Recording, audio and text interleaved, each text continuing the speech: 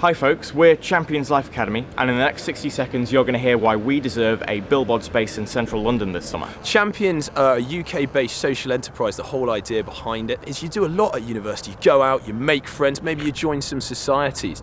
But where does that leave time for finding a job? Um, well, Champions basically help students to become more employable. We give students the opportunity to have a fun and challenging experience.